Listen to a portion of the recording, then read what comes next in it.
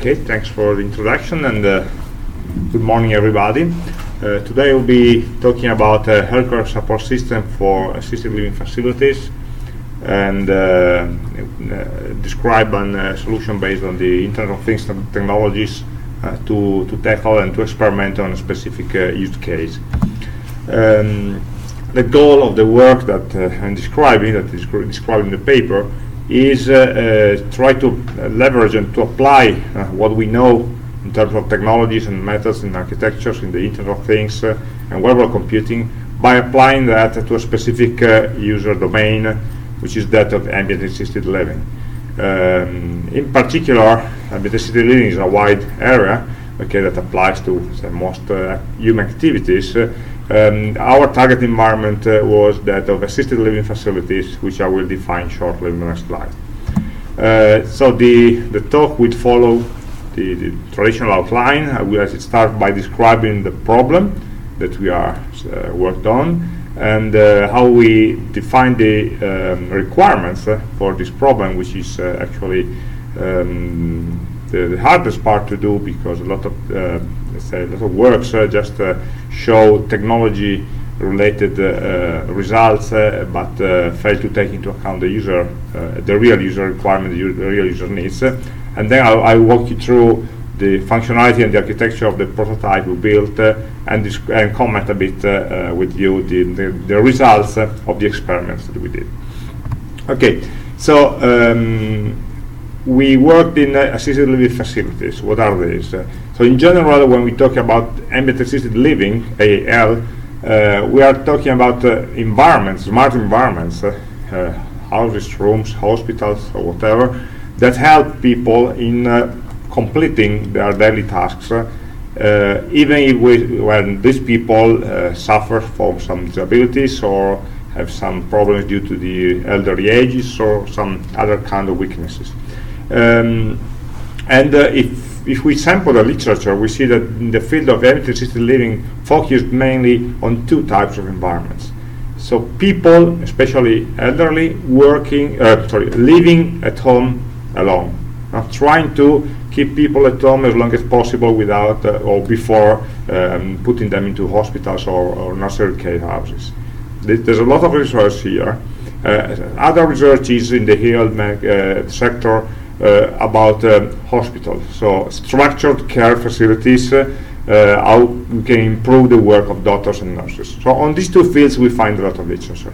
but there's a middle ground there. sort of um, um, growing, there's a growing number of structures that we call the assisted living facilities that are facilities for hosting people who are still not, uh, well, are not yet uh, in, the, in total independence, so they cannot live alone, but they are not yet, uh, let's say, medical in, they don't have, uh, say, serious medical conditions, so they don't need full assistance. So they have partial, let's say, independence, and they can, uh, they are building this kind of facilities where they can live together uh, in a semi-independent way. They have their own house, but there are some, maybe some supervisors, some caregivers, and they help them when in the tasks that they need, and uh, they provide a minimum, uh, say, support, and, but there's no actually really uh, medical care in those cases. There's, it's not needed. Okay, and this is uh, uh, especially for uh, disabled, adult disabled persons that when they reach, let's the plateau of their disability, they just need to find an environment where to live uh, with some supervision. Okay, so this is the, the, the context in which we are working. And uh, what we did was try to follow a user-centered process in order to um, analyze what kind of uh, say technological solution we can achieve uh, by focusing on the needs of the people, uh, especially the needs of the caregivers. Uh, because uh, um, of the settings, uh, the, the, key person in these assi um, assisted living facilities are caregivers that need to manage the whole structure. Uh, the different the, the guests, uh, the disabled persons, have their own specific needs. But on top of that, uh, you need to run the structure. So we followed, um, say, first we uh, try to uh, discuss with people the requirements, so what is more needed in their daily life, and then design a system and build a prototype by trying to use and adopt, let's say, off-the-shelf technologies and standard uh, architectures and languages and so on. So just to, to check what we can do, say, with current IoT technologies. And finally, we came back to the people, so to, to the users, and test the system that we built, uh, and then try to learn from this testing. So actually, we start and end with the people. Um, the requirement analysis uh, took uh, some time, and we, be, we did a, a, set of focus groups with different uh, caregivers of different uh, um, uh, system facilities. And we talked both with people that deal with persons with physical disabilities, motor disabilities, and people working caregivers working with people with cognitive disabilities, so they have different take on the problem, of course. And those, those caregivers mainly, as a background, they they find themselves as educators or social care assistants, but they are not nurses, they are not doctors uh, in that, that context. So it's a very, um, say, particular case. And out of this, uh, uh, this uh, previous work, out of these focus groups, we identified a set of major requirements. So what do they need? And it turned out that uh, uh, these caregivers have really simple um, demands. Uh, they, mm, they, they don't need a lot of uh, say sophisticated issues, but they have some um, panic points uh, in their lives, uh, some points, some activities that they cause them trouble, they cause them anxiety, they cause them uh, fear of not assisting well the person. Actually, what they, the, the top one priority that they get, they, they, they, they emerged from the focus group was that of the alerting mechanism. So people, uh, the guest, uh, being able needs to be able to alert the caregiver when something goes wrong, when it doesn't feel bad, uh, good, when it falls out of the bed or out of the wheelchair, or in many other cases that may happen. And especially in night time, if the facility is big, there's uh, just a reduced number of caregivers. They need to make rounds, and they they are afraid that uh, uh, a person is feeling bad, and until the next round, sorry, they can't uh, they can't help them. Help them. So uh, we um, identified some main use cases. So a person uh, that voluntarily asked for assistance by a caregiver, or the system may be able automatically to detect some critical conditions like, like falling, like uh, uh, seizures. Um, and another point was uh, alerting among caregivers. So when you're doing the night shift and you're alone, what happens if you as a caregiver have some problem? Okay? And so uh, all the people in the house uh, uh, will lack assistance if you if you have uh, some some issues some medical issues yourself. And so you want to be at least alerting somebody who's on call and say okay come help me because I have a problem and I cannot assist my my, uh, my patients. So basically all this was about alerting and uh, we wanted to uh, try to develop that in a way that satisfies some sort of quality requirements. Uh, uh, like I, I, I, won't go into detail into each of them, but a system that should be built for the type of work environment that they have. So people should not be given yet another smartphone or a tablet or something like that. Uh, in the in the medical care or nursing care, uh, actually, hands are are a real uh, tool that uh, the caregivers need to have free. They, they cannot bring with them another device or in their pockets or in their hand because they will, let's say, um, make there will be a problem in the activity they need to do. So we try to be as little invisible as possible, as portable as possible, as reliable as possible, uh, uh, just to have some, let's say, uh, added functionality instead of added trouble for them. Okay, um, so basically the the system we built was say, nothing uh, say especially uh, or too complex. Uh, just putting together it was mainly a system integration approach of putting together the necessary uh, devices, necessary networks, uh, necessary application to support those use cases in a way that could be accepted uh, by the users. And so actually the architecture is based on uh, smartphone, uh, smartwatches that are given to uh, both uh, guests, so disabled, imagine disabled persons, and caregivers. And on the smartwatch you have different applications running. Of course, uh, today's smartwatches still need a smartphone to be coupled with because they don't have connectivity on their own. This, uh, is a, is a pain point in our architecture because you need to have these devices, these smartphones that you don't really use, uh, but use them as communication bridge. But something's coming out in the market of miniaturized devices just for giving connectivity to smartwatches. So maybe next year we'll see something that will uh, enable us to get rid of smartphones. And then, of course, we have a, a, server cloud system that is able to manage all the messaging uh, between all the different uh, um, smartwatches, actually. And uh, the main workflow of the alerting system uh, is described by these three pictures. So let's imagine that uh, um, a guest needs some help.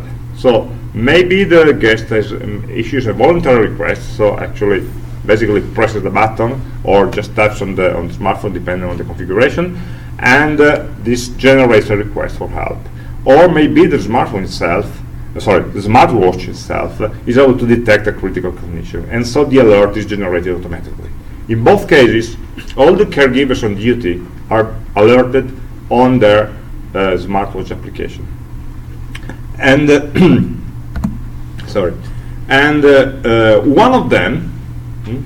At least one of them should take charge of that call.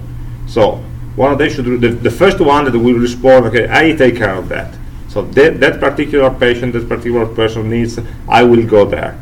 And so the alert is somewhat uh, silenced because uh, uh, the, um, the person, uh, there is a caregiver that, that now will go and check. Okay, Of course, mm, we need to be sure that the, the assistance request is is honored, is satisfied, and so the alarm will be dismissed, really dismissed, only when the caregiver, uh, say, meets the person that generates the alarm, and uh, we check that with a proximity uh, sensor to check whether uh, actually I, uh, I went there and, uh, and, and I'm assisting the person. Okay, just to avoid caregivers to forget the request when there are too many. Mm? And in the case in case they forget, the, the, the, the request is generated again uh, for all the caregivers. Okay, the request is still, is still pending. There's a very simple workflow for that. Okay, so it's something that uh, really fits within the the, the, daily activity. The caregivers do their own duties when they receive uh, an alert, uh, and they just need to confirm, go, and then assist the person. And um, and this is done with minimum uh, investment. So instead of a so a ringer, that some something rings all over the house, and then the, maybe if it's in the middle of the, li- of the night, it, will, wakes everybody up and uh, um, uh, it creates some discomfort in the, in the users and the caregivers. This actually, uh, say, sends information where it's needed. And um, uh, say it's uh, really simple as a workflow. Also, the interface is really simple. The, the, the first picture just to show an example of the uh, user interface that the guests have for sending alarm and for checking whether the alarm is being called or not. And uh, the bottom the picture show the application for the caregivers uh, that, send, uh, that show the list of the of the alarms uh, currently active uh, and confirm that they just uh, say accepted to to to service to a given alert. So actually the, um, the uh, the, these are these all the interfaces that the caregivers and the users uh, need to see and need to understand. Uh, remember that we also have some maybe cognitively impaired people, so we cannot uh, imagine having a, a, too a complex system for them. And of course, there's a management dashboard that uh, can be used to, to, to define the shifts, the shifts of the, of the caregivers, and to monitor as, um, what's going on in the in the nursery home. Okay, so this was, let's say, a quite, uh, say, simple or straightforward implementation uh, by trying to use as much as possible, let's say, uh, as I said, off-the-shelf components and market components. And uh, uh, we, the interesting part uh, for, for, us was, of course, the, the, the, evaluation of the results. So we started from one specific need that, mm, well, as engineers, we could see it uh, as trivial. I may want, uh, I, I, we could have imagined much more complex stuff like, uh, you know, indoor localization or uh, detection of, of, more specific issues, but it turned out that it wasn't uh, such a problem. And uh, also the problem of errors in detection, so false positive, IX generate an alert when the people is not really falling down. It's not a real problem in the specific case because you know caregivers are there, are there. They, it's their job just to go and check in on the people. And uh, so if they are called once more for a system, say error, it's not bad for them. So they, they, they do it anyway. They, so it turned out that the, the, the, require, the actual requirement coming out of the focus group was quite different from what we could have imagined by, by studying and say the situation as engineers. So we came back to the caregivers at the end of the system uh, implementation and we did some tests with them. First of all, we what we call the functional test, so a simulation, say in the in the facility, we took a group of caregivers, say, okay, let's you play the role of the patient, you play the role of the caregiver. Let's try to try the system, check it. Just say simulating the, the, the complete workflow in the different ways, and uh, using but using the actual devices, so with the complete uh, configuration. And then the second test is we call the operational test, uh, when we installed and left op, uh, in a full operational state uh, all the system for 36 hours in a row. Uh, and so also, caregivers shifted and exchanged, exchanged the, the, the, the smartwatches, and a couple of users were kept with, with all the systems. So not all of them, only two of them were, were monitored just to, to make this, uh, this kind of trial. And after the two, the two, two, two stages of the test, the functional and the operational one, we had a discussion with the participants and asked them some questions about uh, their feedback, their perception of, uh, of the system. Um, first of all, is the functional test. Uh, we, we I, I, just highlighted five main, main questions for the from the discussion from the questioners. Uh, whether the system is useful, the scale was 1 to 5, the, average uh, response was 4. The system is intuitive, again. Is it usable? Mm, some people uh, had some little trouble with the, with the smartwatch interface because they were not familiar with that. Uh, portability and uh, positive influence on the daily work. I think this is the most important question. Will a system like this, so will wearable technology, will Internet of Things technology, will help you during your work daily? Huh? And we had a, quite a positive response. Uh, for the operational test, uh, mm, the responses were a bit more negative because as always when you when you see a new toy you like it uh, when you use it for a while you can you start finding you know, some flaws and problems and uh, and this uh, um, uh, was really important feedback for us uh, uh, for example about system usability and I try here to highlight the main points from the discussion that we had to motivate why this say final score were a bit lower. Uh, the system so turned out to be quick and easy to learn. Yes, actually, functionality are quite basic. Uh, caregivers appreciated the wearables because they, they didn't require them to uh, to uh, to carry any item with them. Um, but smartwatches uh, were too difficult to operate by people with motor disabilities. So there are small buttons and uh, yeah, and um, and they. Um, they require fine motor skills to be operated, and not all, not depending on the people, but not all of them could uh, could operate them. So it, what we need is more, say, accessibility in the user interface of, of smart devices. Hmm? Um, some caregivers suggested also uh, being able to call with the uh, voice recognition mechanism, so people calling out uh, instead of just pressing a button. Of course, this depends on, of course, the the, the, the speech capability of the person. So as always, when you are dealing with, with a person with disability, what uh, is necessary is more flexibility in the system to accommodate for the user-specific needs. Um, for uh, the people with, uh, for the trial, for with people with cognitive disabilities, actually most of the time in which the system was used were pranks.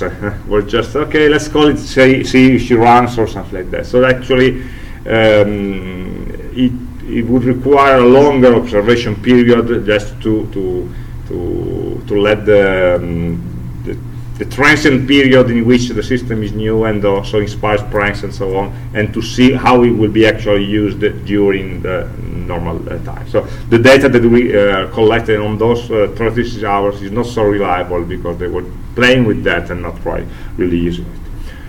uh, battery life is still an issue everywhere because uh, you need to remember to recharge the telephone, uh, to remember to recharge the, the, the, watch and so on every every couple of days or, or, or so. And, uh, and, and and if you're thinking of doing that on, on, a wide scale, then you're losing a lot of time about these issues. And uh, and not all the caregivers in during the trial were really convinced. So actually, half of them would let's say, would buy the idea, would use the system. Half of them are still uh, dubious in some way. Okay, so that concludes my my, my talk, and just my main points is just uh, we, we, try to, to do a study of, of a group of target users that are often neglected. So not uh, the uh, individual person, not the do doctors and nurses, but this middle ground of people that that are growing in number and then assisting, uh, say, a person with difficulty and with disabilities. We applied the user-centered design process uh, and we did some in-field testing with a, with a, uh, with a really uh, working prototype by using essentially off-the-shelf technologies. Um, we still don't have the final word on this topic because we need to do some say, additional trial to have some uh, more reliable data uh, to understand the system potentiality. Okay, thanks for uh, listening, and uh, here are my, my contacts, and if you have time, I will be happy to, to get some questions. Thank you.